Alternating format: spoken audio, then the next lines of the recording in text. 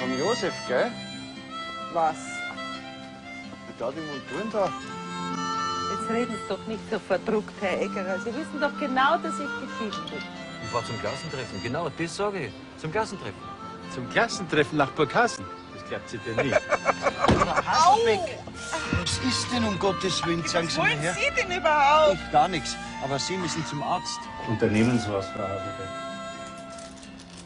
Geht's dort leid? Nehmen Sie meinen Freund.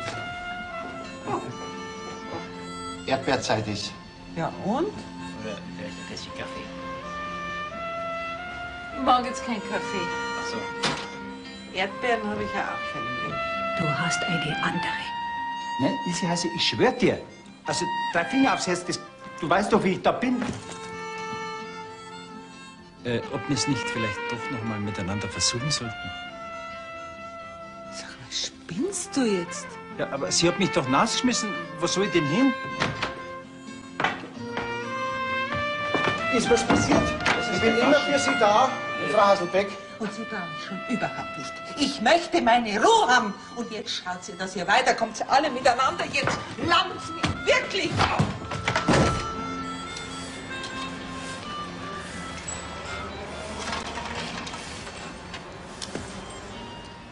Ja, grüß Gott, Frau Kugler. Grüß Gott, Frau Hasbeck. Wie geht's? Gut geht's mir. Richten Sie sich ruhig aus. Wem? Und seine Klamotten können Sie ihm auch gleich geben. Was reden Sie denn für einen Schmarrn? Glauben Sie, ich weiß nicht, was los ist? Ich bin doch nicht blöd. Also ich hab gemeint, wir haben einen Waffenstillstand. Haben wir auch, selbstverständlich. Als Zeichen meines guten Willens helfe ich Ihnen sogar die Schachteln neu tragen. Frau Haselbeck. Frau Haselbeck. Frau Haselbeck, Entschuldigung, hätten Sie einen Moment Zeit für mich? Was ist denn? Ich glaube, meine Toilette ist verstopft. Was? Sein Klo ist verstopft. Wir werden Ihnen gleich an Josef schicken. Gell, Frau Haselbeck? Kein zweites Zahnbürstel? Kein Rasierwasser? Schauen Sie sich ruhig um.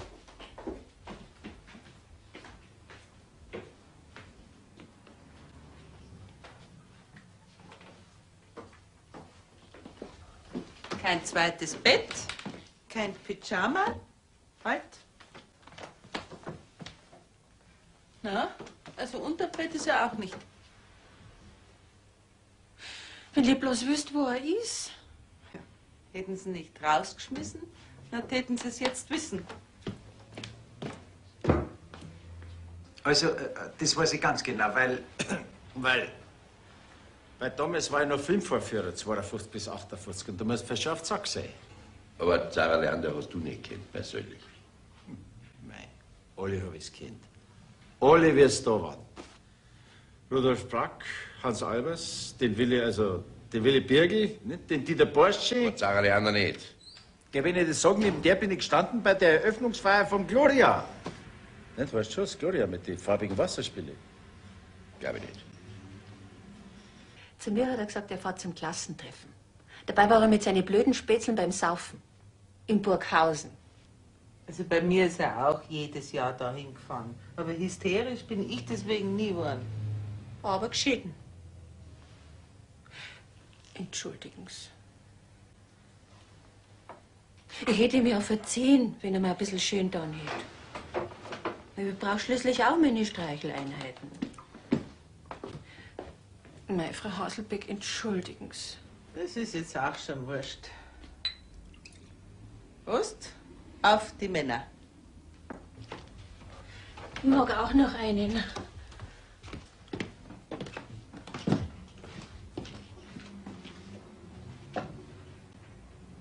Das sind jetzt noch einmal 400 Kalorien. Das Prost. macht nichts.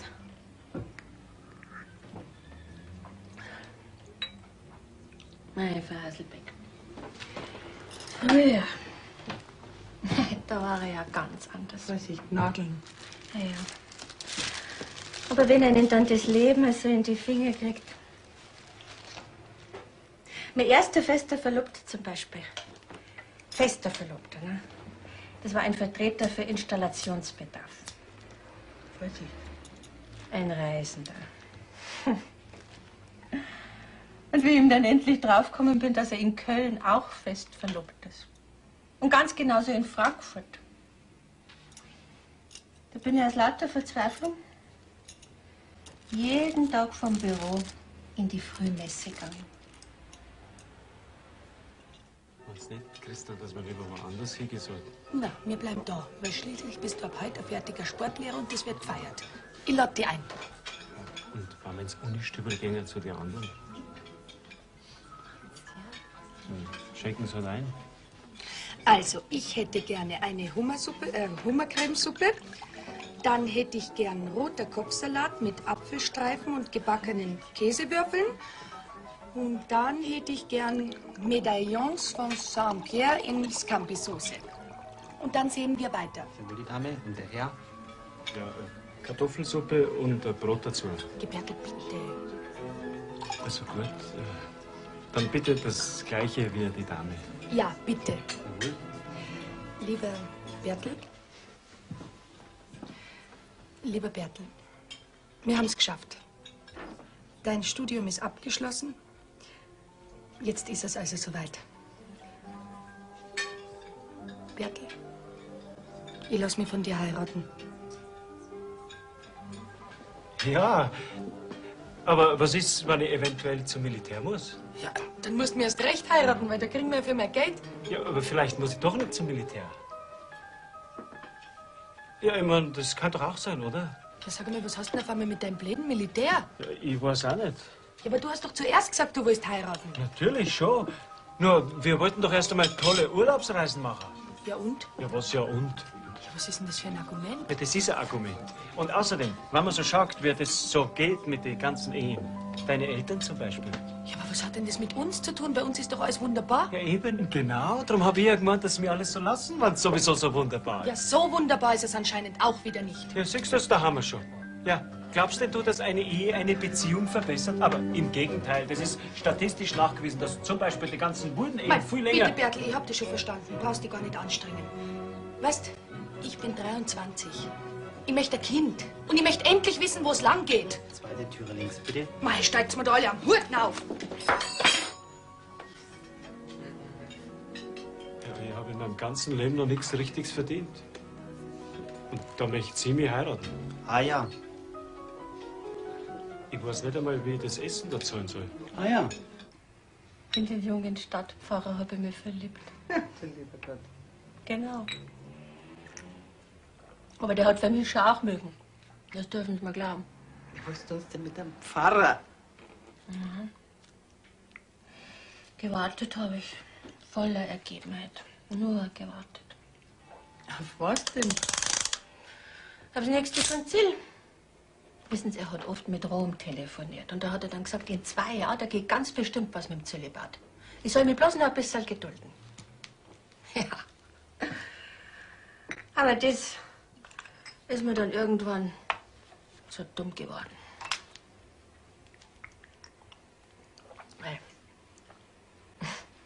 Da habe ich dann einen Josef kennengelernt. Na was, aus dem Zölibat.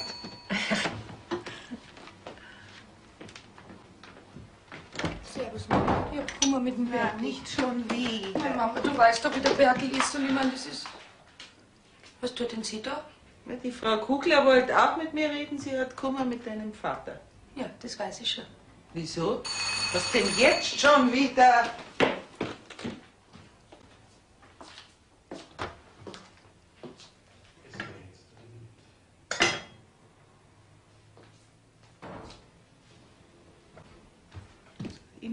Herrn Wegmann auf. Der hat nämlich auch Kummer, und zwar mit seinem Klo. Und bevor ihr weiter alles bei mir abladet, überlegt euch doch einmal, ob ich nicht vielleicht auch Probleme haben könnte. Geh halt zum Papa, wenn die eigene Mutter keine Zeit hat für mich. Ja, wo ist er denn nachher, der Papa? Wenn Sie eh schon alles wissen. Krank ist er. Und zwar schwer. Im Krankenhaus liegt, aber ich darf es niemand sagen, wo, weil er kein Mitleid will. Von ihr nicht und von Ihnen auch nicht. Kannst du dich an den Film Mutterliebe erinnern? Natürlich, mit der Zara Leander, der Hauptrolle. Genau. Wer meinst du, wer den vorgeführt hat? Oder den Förster vom Silberwald? Oder Frauenarzt Dr. Bertram? Wer, hä? Ja, da standst. Alles ich. Tatsächlich. Ja, logisch. Aber so richtig gekriegt hast du nie mit ihr. Mit wem? Mit der Zara Leander. Wenn ich das sag, nach der Vorführung bin ich hinzu, habe ich gesagt, Zara, habe ich gesagt, gut haben sie es wieder gemacht. Weil das brauchst, das darfst, da kenne ich mich aus. Oje. Grüß Gott. Gut.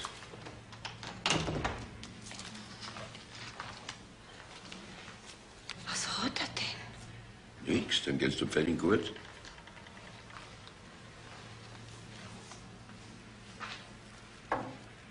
Josef Bierli.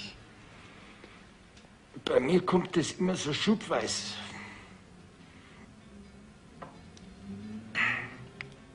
Schön brav sein, Peppilein, gell? Frauli holt dich gleich wieder. Herr Eckerer, vergessen Sie nicht, dass Sie die Tropfen geben. Fünf jeden Tag, gell? Was, braucht er die Albe noch? Freilich. Und nicht vergessen Bürsten. Aber vorsichtig, gell? Dass dem Fein nicht wehtun. Ja, ich pass schon auf. Nach dem Zähneputzen würde ich ihn mit Mundwasser gurgeln lassen. Ist das ein blöder Hund? Also, jetzt nehmen Sie halt, gell? Ja. Also, Frau Moser, bis nach einer Woche. Wir bringen ihn dann wieder, gell? Ja, Ja. Wiederschauen. Wiederschauen. Na gut aufpassen, Herr Eckerer. Ja, ja. Schaut, dass Sie keine Zeit gehabt haben. Ich da die ganze Hausmeisterei und auf die Tankstelle kann ich da auch keinen Hund mitnehmen. Wann geht's denn los, die große Reise? Ja, heute Abend. Entschuldigung, wo wohnt denn die Frau Winter? Erster Stock, danke. Um halb acht muss ich im Pass auf dem Dampfer sein. Übermorgen bin ich dann schon in Budapest und dann zurück nach Wien. Hoffentlich wird's mir nicht schlecht. Oh, die Donau ist ja ganz gemütlich. Da gibt's ja keine solchen Wellen. Mein ganzes Leben habe ich nach Wien wollen und nie hat's Geld gereicht. Und jetzt auf meine alten Tage gewinne ich auf einmal eine Kreuzfahrt. Also, na freuen Sie nur doch. Jetzt kommen Sie doch endlich in Ihr Wien. Naja, ausgerechnet mit dem Dampfer über Budapest. Und schlecht wird's mir auch. Das weiß ich ganz genau.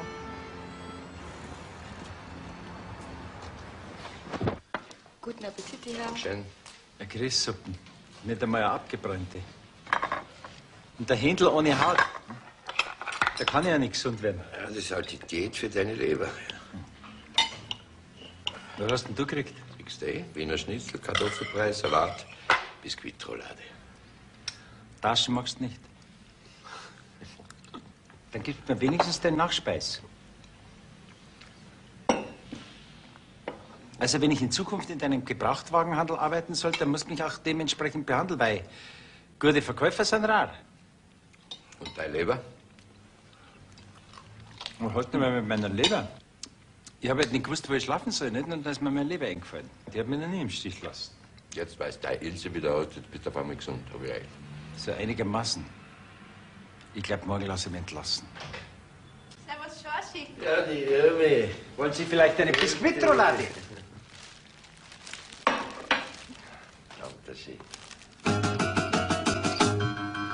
Du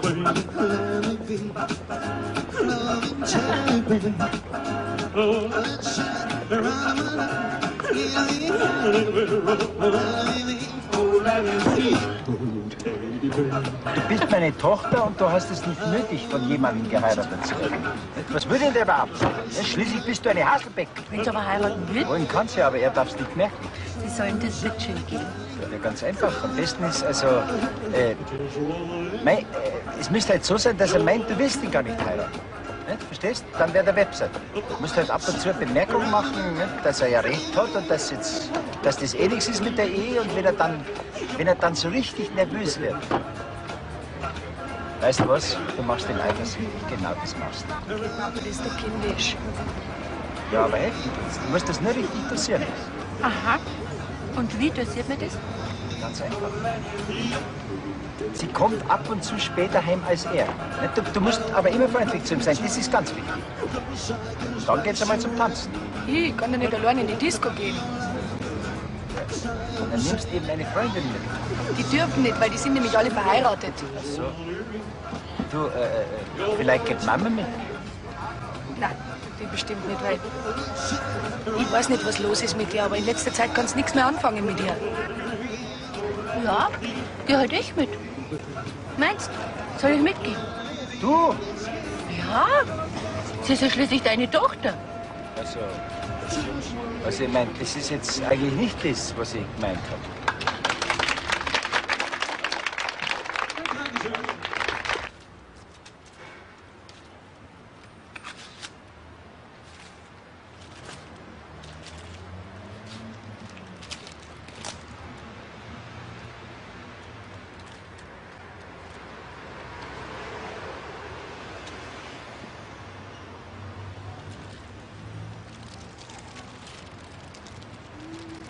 Grüß Gott.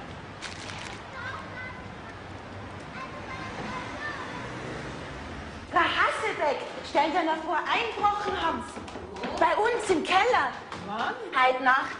Wer? Ich weiß nicht. Polizei ist auch schon da und die Frau Windadel hat sie schon überall gesucht. Sie müssen gleich runterkommen. Ja, ja, nur mit der Ruhe, ich komm gleich.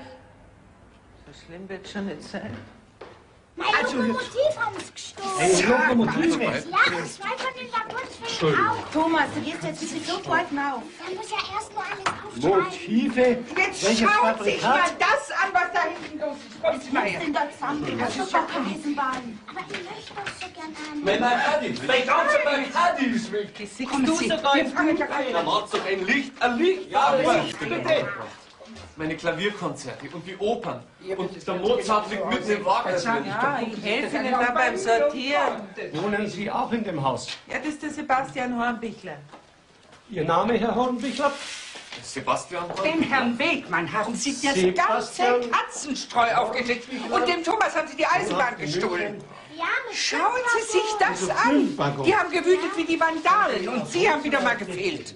Ja, jetzt bin ich ja da. Also Sie rufen jetzt einen Schlüsseldienst an, der soll sofort kommen. Da kommt halt keiner mehr. Und die Vorhängeschlösser, die kann ich ja selber hinschreiben. Nein, das macht ein Fachmann. Jetzt ist das Licht schon wieder aus. Ja, weil Sie die Intervallschaltung so kurz haben einstellen lassen. Ach, Dankeschön, Thomas. Ich muss mich jetzt hinlegen. Fünf Waggons. Ja, So, jetzt bleibst du da stehen und passt aufs Licht auf. Ja. Und was haben Sie jetzt Na, alles meine gestohlen? Lokomotive und die zehn Waggons. Zehn Waggons. Jetzt schaust du das super Mein ganzer Bacardi ist weg. Das waren sicher wieder die Kanaken, die Also Mystiken. jetzt beherrschen Sie sich, Herr Ostermeier. Wie viele Flaschen waren es denn? Wie viele Flaschen waren es denn? Na, da muss jetzt erst einmal nachgehen. Eine, höchstens. Na also, na ist ja alles nicht so tragisch. Herr Schrambeck, ist bei Ihnen alles in Ordnung? Eine. Ich will doch das schwerfallen, nicht zu brechen. Ich habe nämlich ein Sicherheitsschloss. Herr Wegmann? Schauen Sie lieber trotzdem nach. Verdammt, das geht nicht auf. Sie mit Ihrem Bacardi, bleibst da, ich komme dann gleich zu Ihnen. haben. Haben Sie in Ihrem Abteil überhaupt schon nachgeschaut? Nein, aber das mache ich jetzt. Ja, dann machen Sie es, bitte. Ja? Geh mal, geh mal. Ne? Wir gehen. Herr Hornbichler? Also bei mir ist alles klar. Na, also. Halt! Mein Werkzeug ist weg. Die haben mein ganzes Werkzeug gestohlen. Wir müssen wirklich zum nächsten ersten aufhören. Aber das Geschäft läuft doch gut. Wir haben ja nicht einmal Zeit zum Hinsetzen den ganzen Tag. So viel haben wir zu tun. Trotzdem verkaufen wir 1,5 Millionen Liter zu wenig. Und von was haben Sie sich die letzten Monate an einen Geländewagen gekauft? Wenn das alles zu wenig ist, was wir umsetzen? Mit meinem Verdienst hat das nichts zu tun. Ich war zufrieden mit meinem Bin, aber der Konzern nicht. Und darum kommt jetzt eine Taxizentrale rein. Und übrigens ist mein Geländewagen ein Gebrauchter. Und die machen dann 1,5 Millionen Liter Benzin mehr Umsatz mit ihren Taxis. Brauchen die nicht. Aber sie zahlen dem Konzern die volle Pacht. Bis in zwei Jahren der Vertrag mit der Versicherung abgelaufen ist. Die kennen nämlich das Grundstück da. Und so haben sie wenigstens keinen Verlust. Wer? Der Konzern. Ja, aber Gewinn haben sie doch auch keinen. Mit dem bisschen Benzin bloß für die Taxis. Ja, mein. Und was ist dann in zwei Jahren, wenn der Vertrag abgelaufen ist? Dann bauen sie ein Hochhaus hin. Der Konzern. Nein, die Versicherung. Wegen der besseren Rendite. Prost. Ein Hochhaus. Daher. Die müssen ja was anfangen mit dem vielen Geld, was einnehmen. Ah ja. Jeder Mensch hat im Durchschnitt vier Versicherungen im Leben. Und deshalb bin ich ab nächsten Monat arbeitslos. Genau, jetzt haben sie es kapiert. Kapiert habe ich schon. Aber verstehen du es nicht. Und was wollen Sie jetzt machen in Zukunft? Ja, stempeln. Ja, Das ist mir klar. Und Sie? Ich kann nicht stempeln gehen, weil ich noch nicht lang genug gearbeitet habe. Jetzt lass es doch den Kopf nicht hängen. Sie sind eine so tüchtige Frau. Sie kommen bestimmt irgendwie zurecht. Genau. Freilich. Die Martha ist ja so tüchtig und stark. Die geht schon nicht unter. An der kann man sich festhalten. Jeder. Die braucht keine starke Schulter zum Anlehnen. Weil sie ja so ein starkes Weib ist, die Martha. Die ist ja direkt ein Mannweib, ist die. Was hat's denn? So kenne ich es ja gar nicht. Weil ich weiß auch nicht. Vielleicht ist es im Wechsel.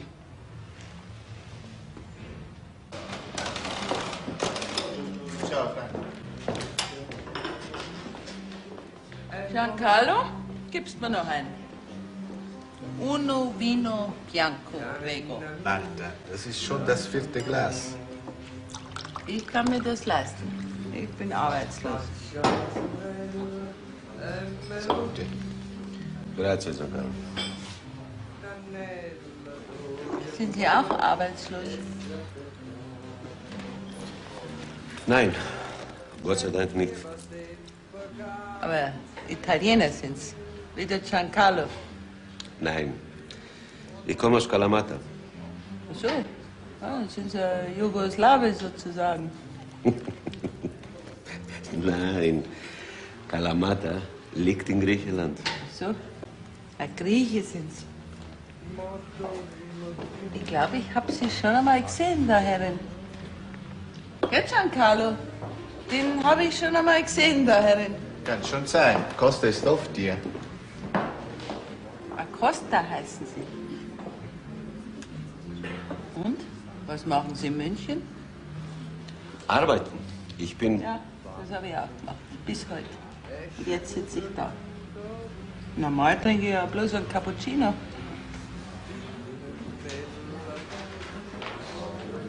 Sie haben eine schöne Nase. Ja? Freut's Ihnen? Mir nicht. Prost. Ich bin die Martha Haselbeck. Prost. Ich bin Kostas Dolaris. Ich bin die mit der schönen Nase. Das hilft mir jetzt auch nichts. Giancarlo zahlen. Wollen Sie nicht noch ein bisschen bleiben? Na, also lass mal lieber. Warum? Ich bin doch keine Gaune. Also jetzt sind Sie nicht beleidigt, aber ein bisschen ein Gauner sind Sie auch. Und woran sieht man das? Im Gesicht, Herr Costa. Im Gesicht sieht man alles. An die Augen? Am Mund? Oder an die Ohren? Überall ein bisschen. Das müssen Sie aber mir erklären. Giancarlo, noch ein.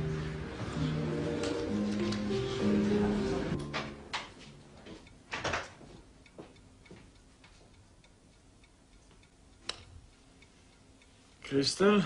Mhm. Habe ich die aufgeweckt? Wie spät ist denn?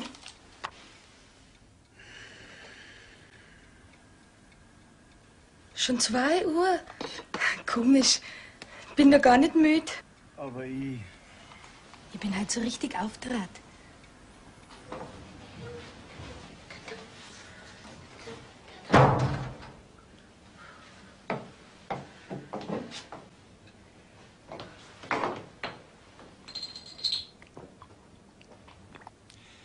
Guten Abend.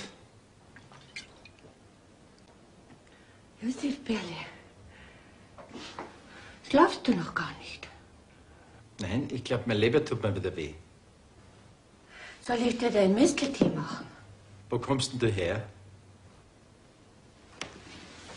Um deine Tochter habe ich mich gekümmert. So, bis zwei in der Früh. Wenn schon, denn schon. Interessiert's dich gar nicht, wo ich war? Also gut, wo warst Siehst du, jetzt möchtest du es doch wissen. Beim Tanzen Und wo? im Maratonga. Ha, ha, ha. Da haben sie doch ein Durchschnittsalter von 65 Jahren. Das brauchst du nicht glauben, gell? Da gibt's schon Junge auch, grad genug. Aber die Älteren tanzen so und so viel besser. Tja, haben sie nachher recht schwungvoll umeinander lassen auf der Tanzfläche, ja, die Herren Schwachmatiker, Tango und so. Jetzt bist du eifersüchtig. Ja, auf die Tango-Tänzer. Tango ist der erotischste Tanz, den's gibt. Wieso bist denn du so verschwitzt? Äh, Deine Haus danach kannst du. Nein, das ist Perle. Zuerst ist ja gar nichts los gewesen. Christa und ich sind an der Bar gesessen und alle haben's tanzt. Bloß mir nicht. Und das war ja nicht der Sinn der Sache. Und dann, dann habe ich mir ein Herz gefasst. Alles wegen der Christa. Weil äh, neben mir, da ist ein sehr hübscher Mann gesessen. Und da habe ich mir gedacht, wenn ich jetzt kein Zeichen setze, dann beißt er dir nie an. Bei wem? Bei der Christa natürlich. Ganz fest hat er mit zugedruckt. Und wie? Und dann ist aufgegangen. Geisterl, komm, hör auf. Du weißt genau, dass ich weiß, dass du vom Tango-Tanzen keine Ahnung hast. Wahrscheinlich hast du überhaupt nicht tanzt, wie ich dich kenne. Doch, und wie? Tango. Geh, lass mich in Ruhe. Ich muss jetzt schlafen. Es ist schließlich schon zwei Uhr. Und dann habe ich ihn angestupft so, und habe gesagt, Sie, haben Sie ein Feuer? Ja, du rauchst doch gar nicht. Der hat ja auch gar keins gehabt. Ah, dann tanzt hat er. Mit der Christel? Ach was, mit mir natürlich. Und wie der tanzt hat. Habe ich mein Leben noch nicht tanzt. Ich glaube, es habe es an der Galli.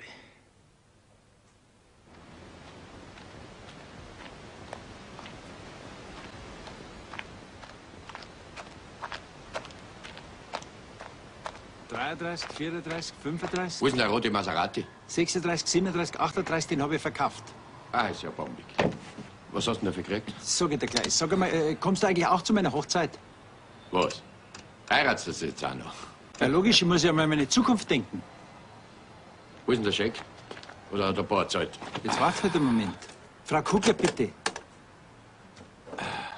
Ist ja sie, äh, 52 Leute sind wir bis jetzt. Ist dir nur jemand eingefallen? Ja, natürlich muss das eine große Hochzeit werden. Ich kann mir das schon leisten. Der Laden läuft. Gerade habe ich wieder einen verkauft, einen roten Maserati. Wo ist jetzt das Pulver? Ja, also Bussi, bis heute Abend.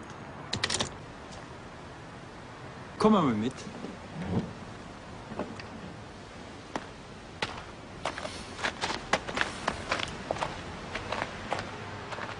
Fällt dir nichts auf?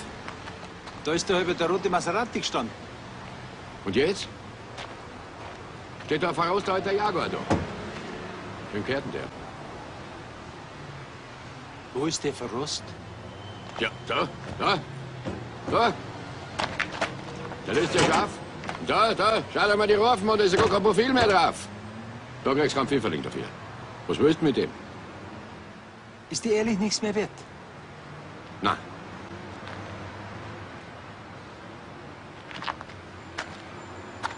Schorsch, jetzt musst du stark sein. Den habe ich nämlich gerade gegen den roten Maserati eintauscht, weil ich hab mir gedacht, dass ich... Du Rindviech, du. Saudums. Du möchtest ein Spitzenverkäufer sein. Weißt du, was du bist? Ein Nixi bist du. Aber Schorschi... Und das mit der Zara Leander ist auch klar. Das hättest du jetzt nicht sagen dürfen, weil das mit der Zara, das stimmt also wirklich.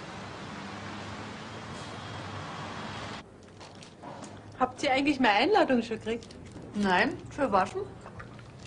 Na, kommt's bestimmt morgen. Gäbe es ja Party?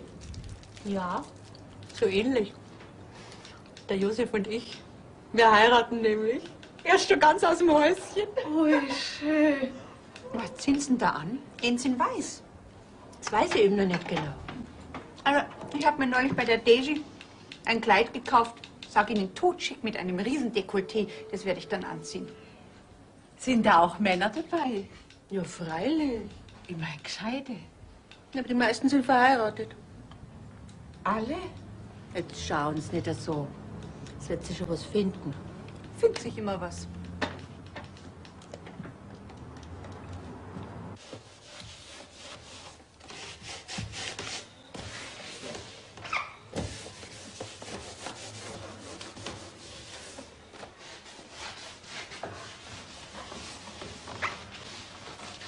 Entschuldigen Sie. Äh, Entschuldigung, hallo. Hallo, Martha. Ja, hallo, Costa. Wo kommen jetzt Sie her? Huber und Co. Schlüsseldienst. Na, habe ich Sie ja angerufen. Ich bin der Koch vom Huber.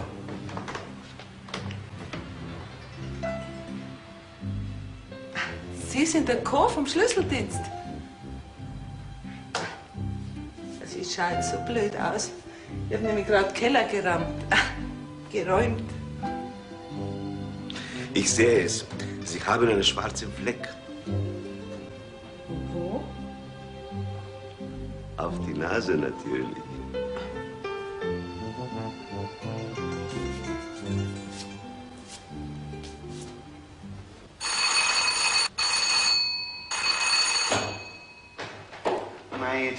Haselbeck nicht da. Was wollen Sie denn von hier? Ja, da, ein Pepe von der Frau Musi, da muss ich loswerden. Ja, geht Ihnen endlich auf, die Nerven. Da wo? Was? Na, das nicht, aber meine Hausleute sind wir draufgekommen, bei uns ist ja Tierhaltung verboten. Gell, und jetzt muss ich ihn loswerden. Die Frau Haselbeck nimmt den bestimmt nicht. Ah, es war ja nur bis morgen, dann kommt sie wieder zurück, die Frau Mooseder. Gell? Und die Papiere habe ich auch dabei. Impfzeugnisse und, und Stammbaum. Halten Sie mal. Stammbaum hat er auch? Ja, natürlich. Halten Sie ihn, der beißt nicht. Na und? So. Ja, das kommt mir nicht in Frage, der kommt nicht mit in die Wohnung. Natürlich nicht. Und immer schön bürsteln, gell? Das hat er besonders gern. Ja, aber. Ja. Das ist Kann ich Ihnen wirklich nichts helfen? Nein, danke. Ich kann das wirklich. Ah, die ist praktisch, gell? Die hat eine Schnellkupplung. Ja, sowas habe ich auch gehabt mit 1000 Watt. Aber jetzt ist alles weg. Das ist ja von alten Fliesenschneider. Den haben sie mir gnädigerweise lassen. Frische Schneider habe ich wieder keine. Ja, wenn Sie mal einen brauchen, dann leih ich ihn Ihnen. Hoffentlich brauche ich schnell einen.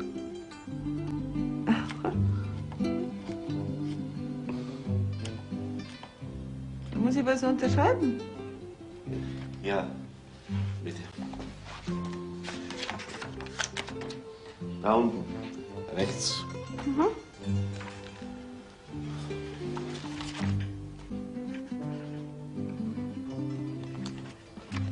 Der schreibt aber nicht.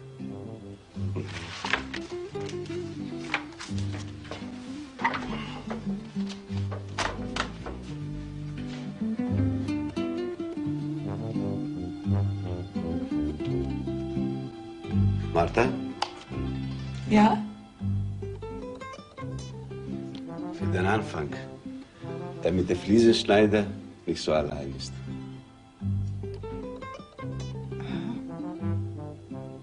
Danke. Was heißt jetzt Danke auf Griechisch? Efraisto. Efraisto.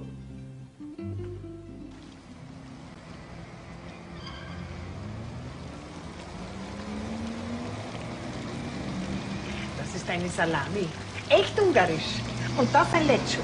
Also das müssen Sie unbedingt probieren, Frau Haselbeck. Ja, danke, Frau Moseder. Das mache ich heute gleich auf. Wie war's denn im Urlaub? Traumhaft. Ludwig heißt er. In Passau hat er mir schon den Kuh vertrauen. Und ab Dürmstein, da haben wir am selben Tisch Dinner gehabt. Und in Budapest habe ich gemerkt, dass ich ihm gefalle. Und in Wien hat er mir gefallen. Und in Melkhammer da. Morgen kündige ich meine Wohnung.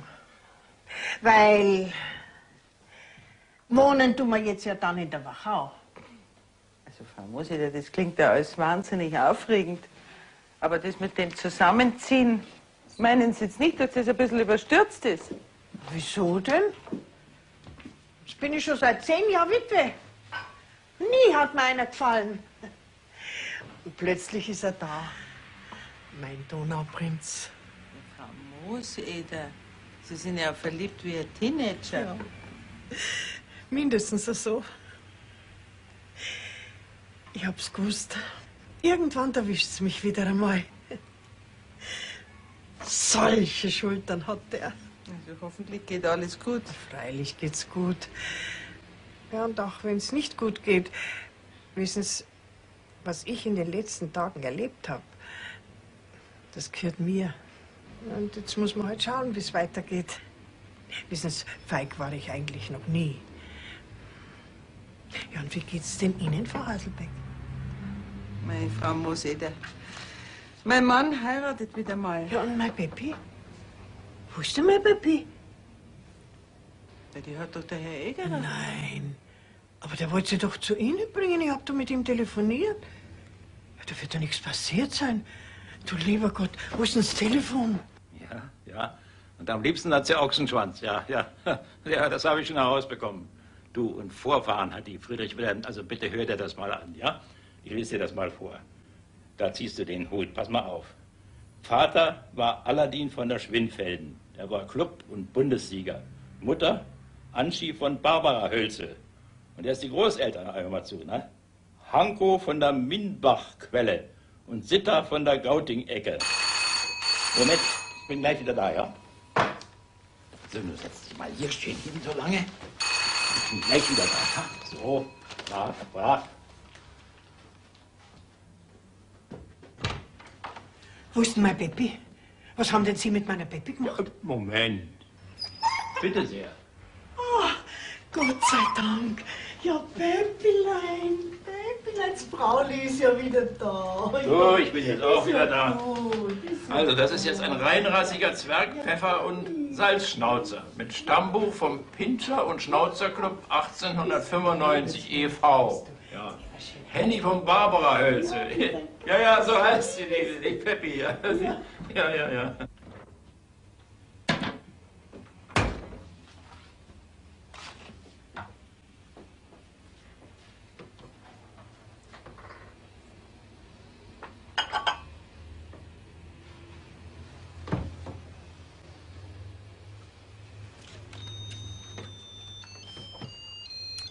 Ilse Kugler und Josef Haselbeck geben sich die Ehre, Sie zu ihrer Hochzeitsfeier einzuladen. Beginn 18 Uhr. Schöne Ehre. Ich glaube, ich bin.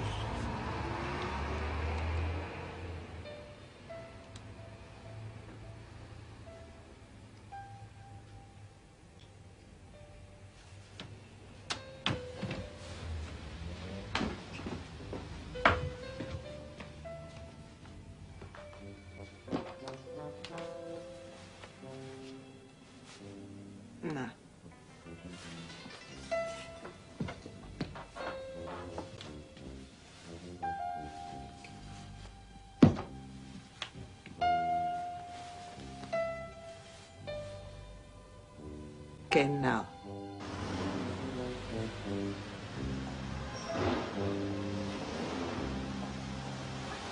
Ja, da ist sie ja. Ja, Pöppele. Ist jetzt das Fraule wieder da, gell? Hat er sich recht gefreut, gell? Ja, mei und wie?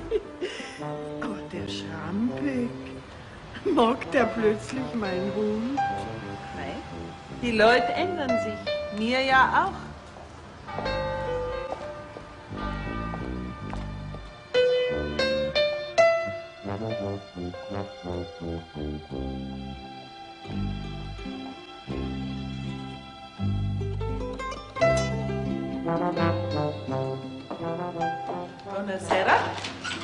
Buonasera, Marta. Ein Campari Soda bitte und einen Mozzarella Pom Pomodori. Mit viel Basilikum. Und, wie geht's dir heute? Molto bene. Mein Mann heiratet gerade. Und gehst du auf die Hochzeit? Ich bin doch nicht. Du, Giancarlo, war eigentlich der Costa heute schon da? Ja. Schau, ist. Hallo, Martha. Hallo, Costa. Schön siehst du aus. Schön, dass du da bist. Willst du nicht zu uns sitzen? Nein. Ich, muss ja auf eine Hochzeit. Ich bin ja eingeladen. Schade. Ein anderes Mal. Ja, so, Martha.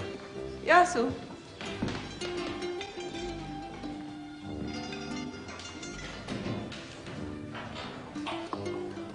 Weißt du, Giancarlo, es gibt Zeiten, da kannst anpacken, was du magst. Es geht einfach alles daneben.